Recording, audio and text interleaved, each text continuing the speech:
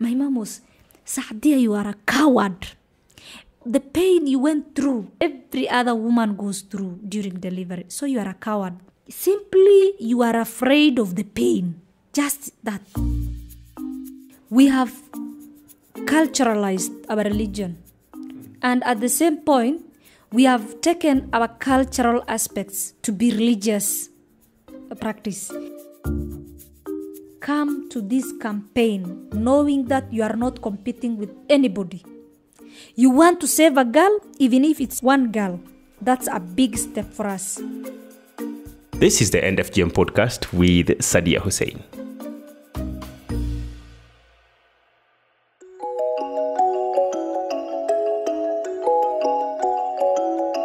Welcome to the End FGM podcast. My name is Jeremiah Kipainoi. I spend time with change makers who are making an impact in Kenya and beyond. Each week, we listen to incredible stories of ordinary people just like you, making a difference. They share their successes, failures, and what they are learning along the way. Thank you for being with me today. Let's get started. If my community is controlling the sexuality of the girl, practicing FGM actually to reduce my sexual urge and desires, what are you doing? They will laugh at you. Actually, you are clapping for them for job well done. That's a wise thought. On the contrary, on the contrary, I would say this to challenge them. I'm a survivor. I know um, FGM has effects. The effects are, are varying across survivors. Every survivor has her own unique story on FGM. I've done several um, research, not the research, the statistics, the population council, the UNICEF, UNFPA does. No, this is my own campaign-based research when I go to certain um, village and I want I educate them again uh, against the harmful cultures like early marriage, teenage and all those things. I sit down with the women. I ask them, "Do you enjoy sex with your man?" They will tell me yes. When I came to realize those who say they don't, there are those who actually tell you they don't. Through my analysis, I came across this, and I have to tell the world. Eh? In our community, we have arranged marriages in most cases. This is a young girl. Her father chose her the kind of uh, husband she would stay with. How do you expect her to enjoy? What is she going to enjoy? A young girl who doesn't even know what marriage life is. What is she going to enjoy? Actually, she will tell you, I'm not enjoying anything. Secondly, we have those women who are staying with their um, partners by chance. What do you mean? I mean like this. For example, you you you just got married. In our community, you go, you go, you choose. Uh, like this family background, all those you do assessments and you say, I want Lady X. Uh, they, the other day you will you will find there is a wedding procession and all that it's final. So, how do you expect people who don't even have affection for themselves to enjoy? What are you enjoying in the first place? For me, and I want to be very, very honest, and I want to challenge everybody. This is what my community tells me when I talk about the sexual desires and all this. They tell me, Sadia, for that you know you, you need to go and do re- restructure your campaign. Why? Because if you talk of the sexual desires. For example you if you we, we would have taken your words that it's true for example maybe our men are marrying four wives because we were cut. What about those neighbors who are not cut but their men are still cheating on them? They are still going for other. If they are that satisfactorily making their men sat, uh, satisfied why are these men cheating Sadia, I'd like I'd like us to just talk about because now you're bringing a point that I've always wondered about. Mm-hmm. How should we frame these messages? Because you've talked about two things. First, you've talked about you know how do you tell people about FGM and sexuality, You also talked about FGM and um, how to communicate it about religion also. How do you frame these messages? Uh, for me, let me be honest from my own personal experience. I love a person, right? For me, let me tell you, to be honest, eh, sincerely speaking, when I meet, I meet several men uh, because that's the nature of my work. I meet men like every day, right? And I don't feel them. But for this one man that I love, leave alone him talking to me, just by seeing him, I just feel the electric shock. Exactly. And I don't know. Sometimes I sit somewhere and question myself what are these people talking about? You see, um, for me, I believe FG and, and sexual desires comes from the mind. And also, it depends with the kind of love you have for that person. Even if the, it doesn't mean even the person loves you back. If the woman loves that man, she will automatically feel him. Yes. And for you to enjoy sex, you must have that affection. You must have that feeling. Okay. We now go to how we, sh- we should frame. This is my argument always when I go to our women. Hmm. when you are telling me you are doing you are doing FGM to control my sexual desires, to control my virginity. First, to begin with, I've been born with virginity, natural virginity. That's why I begin. There is this natural virginity. Once broken, it will never be recovered. Why now go for an artificial one? That's our deep, that's our starting conversation point. You see, you're trying to say that um, the focus should be, you know, is not like preserving this second virginity um, for the future husband. Yes, I tell them this girl has been born with a natural virginity. Preserve that. How? We need to build their moral. Uh, we need to give them moral support. We need we need to mentor them, and teach them the values uh, that they should have. We sh- we must nurture um, them and prepare them that it's good to preserve their virginity. That's it. Secondly, this is another argument I bring. In case, for example, this is a human being, things get out of the way sometimes. Even those who have um, gone through FGM still also can do things outside wedlock. So, when it comes to preserving for the man, why the man? Who is controlling or measuring the virginity of the man? Why torture this woman when you don't even have a guarantee that he will stay with you forever? Nowadays, men are even marrying fellow men. Why should you care pleasing him while you are torturing yourself? While you are torturing your daughter, and you, you cannot even guarantee that this man you are preparing your girl or harming your girl for may not even stay with her for long. Why? That's the second argument. Now, the third argument I make does it mean if I'm not cut today, I will, I will, I will be sleeping with men around? It depends with the faith I will have. Once I went to a radio and a, a man called and told me, Sadia, can you sleep in a, in a house without a door? And I said, no. How? And he was telling me, yes, FGM is like a door for us. It's a lock. And I told him, listen, even if you mutilate the girl hundred times, it's only herself who can look after herself. Because there is no permanent lock you have put there. You cannot even tell what the, that girl is doing. She's just looking after herself. You are not mo- monitoring her. That means, again, if she doesn't go through the cut, it's her faith. By fearing her God and also her own dignity. You know, there is that dignity you want to preserve. You want to be a role model. Do you want to be called so many names or you want to be a role model to your children? You know, I want when I walk, my daughters will be very proud of me as a mother. Not as a mother who is that cheap, everyone would be talking about. No, I would want my daughters to feel proud and say, We want to be like our mother. So I tell them, the lock you are talking about simply depends on my faith and the way I want to, to be like. What I get from that is investing in building our children's morals other than trying to put gates um, where people are forced to um, be in check because of cultural barriers, I say, like female genital mutilation, which ends up harm, being harmful to them.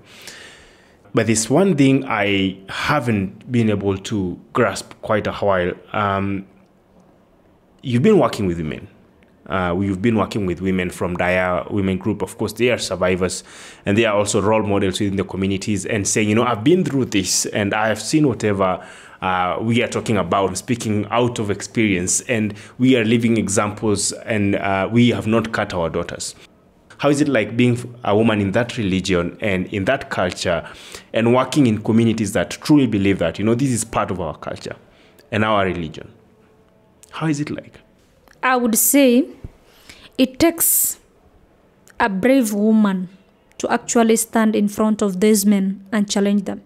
You know, sometimes there is that Somali proverb that says, Lafagari ayaga lisku jabiya. When you want to break the bone of a giraffe, look for another bone from the same giraffe to break that bone. If I want to talk with women, I should stand in front of them because I've gone through FGM. I cannot take an uncut woman to address the survivors. I'm a survivor. I'm at, in a better place to address them. You see? And again, when we want to talk to the men, I will take a man to speak to them. Probably a religious leader. That's a credible voice. They would listen to the religious leader rather than me. You see? When we want to bring the health effects and bring now the data, like for example, when we want to compare the cut women versus the uncut and delivering at hospitals. We need to bring up the data of even cesarean sections, the referrals, all these. And we need a medical doctor to do that. Because if I come with a paper, they think I've cooked up. Maybe you just came up with the data and uh, you, you cannot validate them. I can't defend. but for, for the doctor, he starts by challenging them. Uh, nilizalisha wangapi hapa? How many of you have, have I attended to? Like during delivery at maternity, at the maternity. Then they lift up their hands. Yes. And it, it turns out that majority of them have gone through his hands. That means he is in a better place to make them understand what actually happens practically in the hospital. Most of the women who go for referrals are our community from our community. Most of the those who die on the road as they are being taken by ambulance for the referrals due to complicated deliveries are actually majority of them come from my religion, from my community. And uh, when we now talk of coming from that culture and also the religion, this is how we challenge that. We have those Muslims who don't cut their daughters and their imams. So our men go to pray in those mosques where the imam actually comes from the community that, that does not even practice FGM. So my work is actually very easy. We know when we want to talk to the young men, who should talk to them. We strategize ourselves. We want to go out to a village and we know eh, mobilizing them they will ask for allowance. We don't have the money, we are volunteers. So basically, we come with the public address, put music, you know, the entertainment is just wow. So we have end FGM songs, they come gather, dance with us. After the dance, what follows? If the majority is men, I just call, now today I came, I'm a survivor of FGM, I'm one of you, but I don't want to talk. Let's listen from the religious leader, whatever he says, are we going to buy or what are we going to say? And they say, no, this is the sheikh that we value. This is a credible voice. whatever Sheikh so and so says is final. Ah, and my work is done. So I just sit, wait for the Sheikh to give his statements about religion. After that, we give chance to the men. We now give chance to the survivors from Dayaa to also share the experience. And as I share experience, by the way, I also ask them, uh-huh, when we go to hospital, have you seen the uncut being cut by a pair of scissors? And they say, no. Why us? Ah, they will answer. You know, that's how I take the debate on.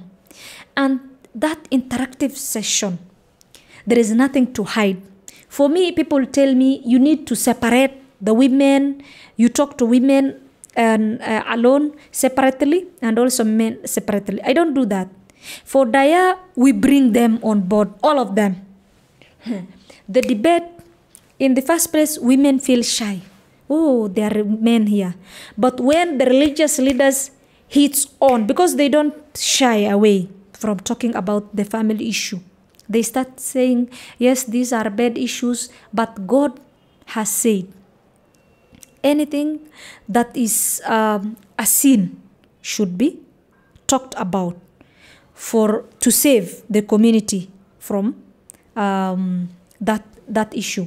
So you see, um, basically, when the now religious leader starts, oh, um, this is FGM is like this, and now they start okay, they start feeling it's normal to talk about it. So you see, uh, gradually they start now asking questions. The women themselves start asking questions. Okay, what about this? And actually, I came to realize that even the, the prayers we are talking about, the five time um, prayers, the five daily prayers, for a girl to perform it, she should not go through the card. For those who are infib- infibulated, uh, are not are not supposed to go through uh, pray the prayer, cannot perform the prayers actually. I came to learn recently. Even for me, I've, I'm, I'm now learning a lot from the religious leaders. And some of them were shocked, actually. And they have said, Oh, God, forgive us. Now they're repenting. Is it like little girls are allowed to to do the prayers and maybe women who are married or already cut are not allowed? I'd like you to expand on that. Okay, uh, this is what it means. Eh? There is a certain age, like when uh, children reach the age of 10 years, they're supposed to start praying. Like the parents should start showing how to pray and teach the little ones how to perform prayers. Now, for our case, uh, we, we, we do the infibulation type of FGM, the type 3.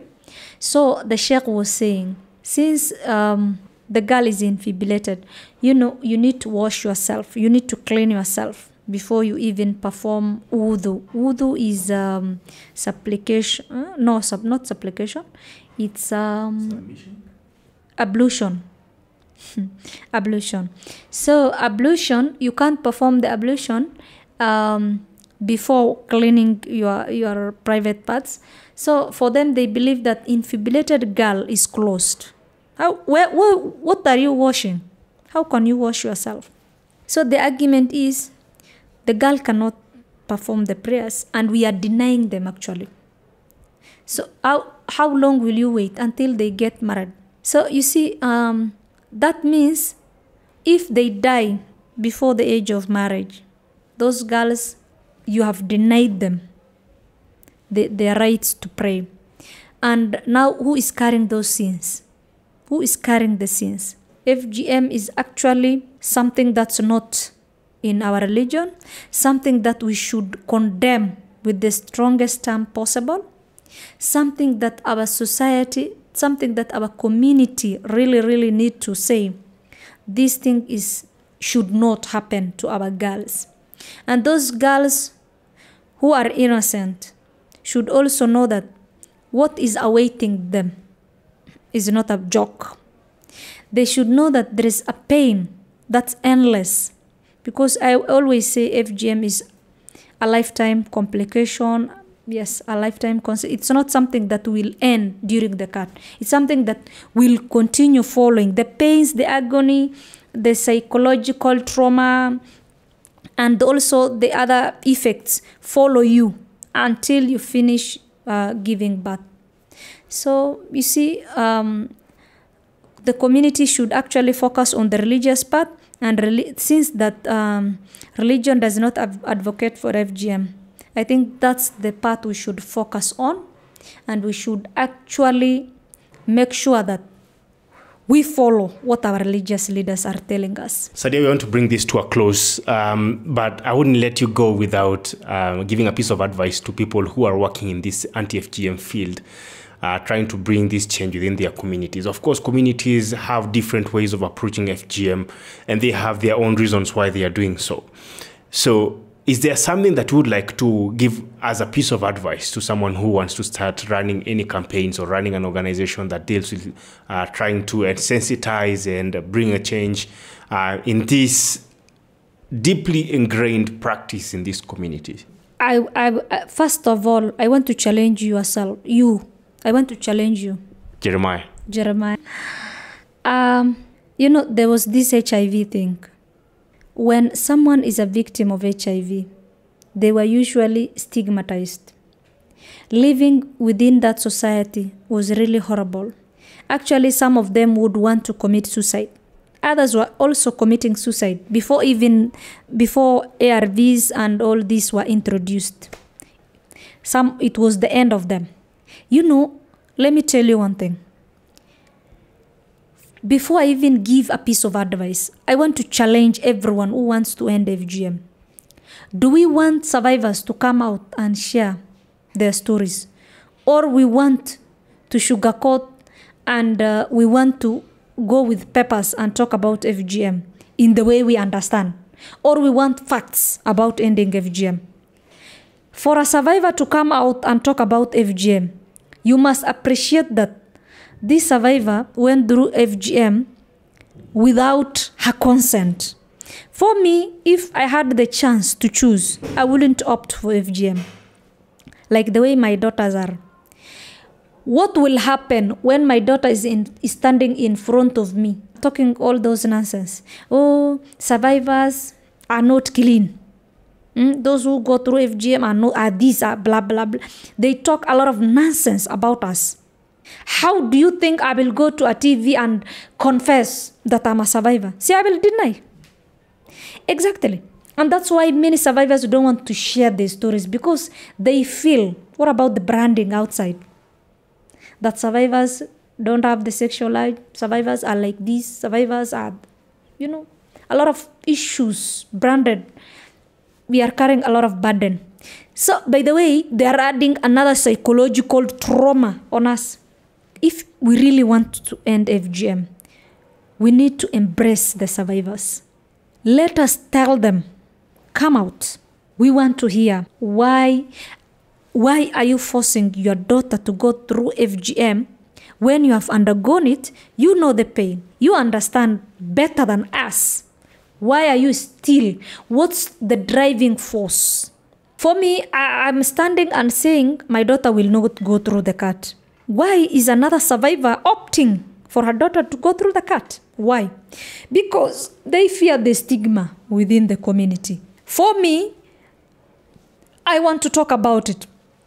Someone else, another survivor, also fears the stigma of the outside world. For survive, you know, Jeremiah, you are online, right? If you see about how people post issues on FGM, they want to talk, yes, the effects of FGM. But for me as a survivor, sometimes, and they tag me, I just read and say, hey, hey, oh God, just help me. Give me the courage to retweet this. Because how can I how can I endorse something that I feel it's burning? Actually, it's like hitting the nail, a nail on a wound, a, a, hot rod inside a wound. Already, I've gone through all this trauma. Now you are there online talking about survivors. How do you want me to support you and end FGM? You know, at some point, if I'm not strong enough, if I'm that weak, I would opted out and say, okay, go ahead with your campaigns. And for us to win the ending FGM, Jeremy, let me challenge you again. If today, for example, um, you want to end FGM. You meet a woman who is not cut, and you you meet a woman who has been cut. Now, whose daughter will go through the cut? If you meet an cut woman, a woman who probably maybe escaped the cut, whether by chance or um, by other means she was rescued or something else, or maybe her community does not even practice FGM at all. Or and compare now a survivor whose daughter will go through the cut. because of a background of their their their mothers having been cut, then I'd say the girls whose mothers have gone through it already. Ah, good. Now, now you are getting the point. You know, if uh, you you have gone through the cut, that's a norm. It's already something that's a norm in your community, right? So most probably, like ninety percent of girls who come from a community that practices FGM, daughters of survivors are most likely to go through the cut compared to daughters of uncut women whether they escaped, whether they escaped by chance, whether their community does not practice, then that tells you where we should bring our energy, our where should our focus go. We need to tell these survivors, you went through it. We start the debate there. We start our conversation there under the tree, telling them, you went through this. Why do you want to allow your daughter go through the same? This is a survivor. You know, even the men who want to end FGM, how will they end FGM if survivors are not telling them the truth that yes, we went through FGM and it was horrible? If these survivors will come out and say, no, there is nothing wrong with FGM, how will these men end FGM? How will the religious leaders end FGM if these survivors are still, if they still feel it's okay to go through the cut? Because at the end of the day, it's these women who take these girls to the bush. Because this is something they believe. If the girl doesn't go through the cut, they believe there is something wrong with that girl. You see, and this a survivor went, who went through the cut, who who knows the pain, all those agony, but still wants to go to make sure her daughter also goes through the cut. You see, that's why I say we need to give psycho- psychological support to this um, uh, counseling to the survivors. Also, tell them why their daughters should not go through the cut. We should stop victimizing survivors. We should stop uh, intimidating and insu- insulting survivors. We should embrace them, rather, um, ask them what they went through. Let them share their stories for positive change. We begin from there. Now, from there, we involve the men. Now tell them, okay, these survivors have gone through FGM. Now they have their daughters. We want to spare their daughters. Will you accept to marry these girls when, when they have not even gone through the cut? That's another point. These men will now accept, right? They will, they will be ready to marry the uncut girls. Now we go to the religious perspective as well. Now telling them, if you don't practice FGM, there is no sin that will befall you because it's not even part of our religion. That will clean their heart and they will feel at ease. That yes, if you don't practice FGM, it's okay, even in our religion. You see, now we will have a collective issue.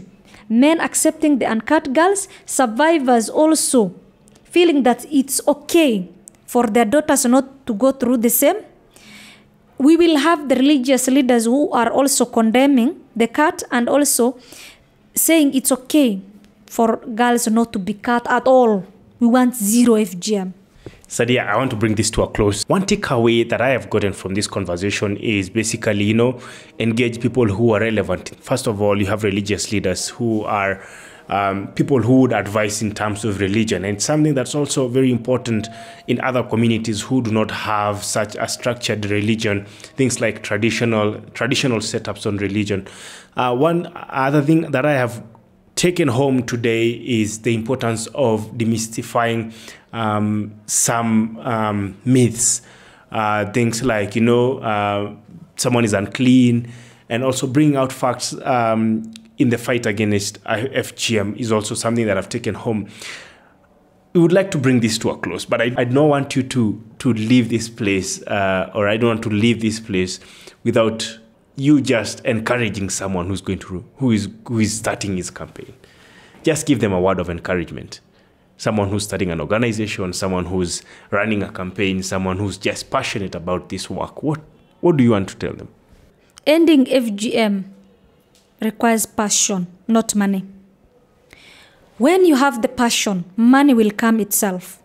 But you can have millions of money, but still no impact. Like, for instance, I want to bring to your attention we have so many organizations that are working towards ending FGM. If you go to the grassroots where real FGM is happening, there is no impact. So, you see, basically, for an employee working in an organization and for an activist, it's totally different. For an activist who is passionate, I'm talking about the, the real, genuine activists who want to actually start a campaign to end FGM in their communities they shouldn't give up. Why? Because for an employee, today they will be ending FGM, tomorrow they will go to environment, the other day they will go to energy, the other day they will be uh, politicians. You know, they will be changing. These are employees. But for activists, a real passionate acti- for me, even if today I become a politician, my passion for ending FGM will never change because that's my passion. Whether I become a politician, whether I become a businesswoman, whether I'm, I'm, a wife, whether I get married to whoever, whether I am um, I have children or not, that doesn't change my vision. My vision is to, to have a free FGM world. You see? Now, uh, the advice I want to give to um, the campaigners out there don't give up and don't think that ending FGM requires money. Yes, we need resources. But what kind of resources do we need? We don't need conferences, so, ma- so much endless conferences. People will, will ask me, why conferences? I'm saying conferences. I'm not condemning all conferences. I'm not condemning all of them. I'm saying we should minimize. Let's minimize conferences. Jeremiah, if uh, today, let's say, for example, the millions spent in conferences are being taken to the rural areas, the grassroots, where FGM practically happens. Today, I'm sure we would be talking about something tangible, something practical, something that we would say these are the, the lives we have touched. We should now focus on going to grassroots talking to the to that woman who is cutting the girls talking to that woman whose daughter is about to go through the cut talking to the religious leaders that's what i believe for those activists who want to come up and do end fgm campaigns actually come to this campaign knowing that you are not competing with anybody you want to save a girl even if it's a one one girl that's a big step for us. Make sure that you struggle uh, doing that. Don't focus competing on what Sadia is doing, competing on what Jeremiah is doing. We are not competing. We should rather combine our efforts. You are doing End FGM podcast. I'm doing grassroots campaign. Someone else would be doing media. Someone else would be doing something else. Can we now bring all this together? as one effort because our goal is to end FGM. And we should all come up. Uh, there is something we should understand. You know, when you are doing something, we cannot all walk with the same speed. We can't. We are human beings. The speed I will be having can be more than yours. My speed should be an inspiration to you it should not make you inferior. Can you look at Sadia as a role model? Can you look at my work as an inspiration to build on yours? You should not start should pulling me down so that we, we come to the same level. No. Build on what I have. Learn from me. Let's work together and move as a team. Maybe you ask me how I progressed, what are my best practices. Then you go and, and do the same in your community. For me, I would say let's all work together. Let's make sure that our efforts all are combined. FGM affects health, it's an health issue, it's an educational issue, it's an economical issue, it's everyone's issue. Now, uh, the health sector, the education sector, the children services, all these also departments should also come together for the for the best interest of the child. If the children's officers are doing their own things, if the local administration are doing their own things, if the NGOs are doing their own things, when are we going to achieve? Everybody is looking for profiling, profiling and branding. I'm the best, I'm the best. No, it doesn't work that way.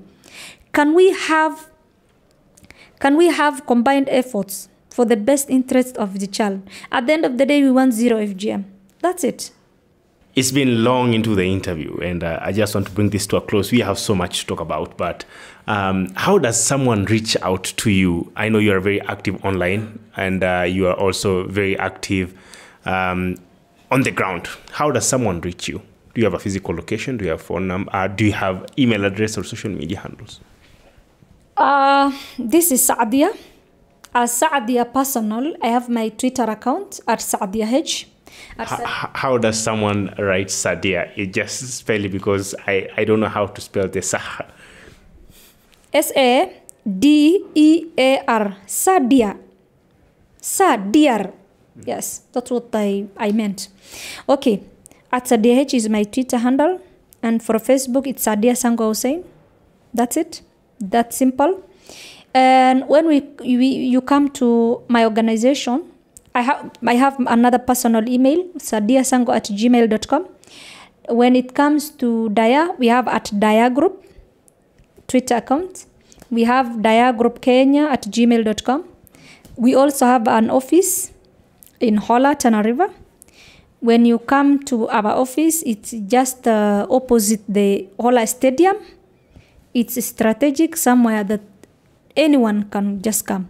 If you go to Hola and ask Dayaa Women Group, everyone knows, and they will bring even into my home. They will bring even to, to you to even my compound. So Dayaa is actually a community owned, a community based organization, but we made it that in such a way that everyone in the community feels Dayaa is theirs. Amazing. That was Sadia Hussein. Such an amazing conversation we've had today. For me, it's been much more of listening and learning because, you know, you meet different people, different experiences, and this is one unique one. Thank you very much, Sadia, for joining me here today. Um, it's an honor, honestly, being able to sit down and listen to you and you sharing very openly what you do and what you feel about the issue that you are working with. So, thank you very much. And to the listener, thank you for holding on to this conversation. It's also an honor having you. My name is Jeremiah Kipainoi. This is the End FGM podcast produced by me, Jeremiah Kipainoi, in partnership, of course, with Tony Mwebia here in Kenya. Till next time, take care. You can get bonus materials, notes, and much more at www.kipainoi.com. K I P A I N O